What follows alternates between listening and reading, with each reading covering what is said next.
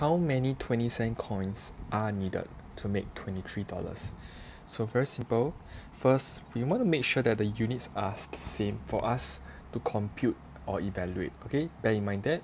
So 20 cent coins how is how much is that in dollars? Okay you must remember that okay it will be 0.2 dollars. So immediately number of 20 cent coins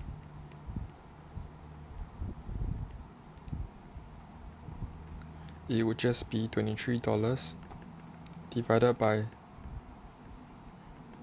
okay 20 cents and that will be 115 coins.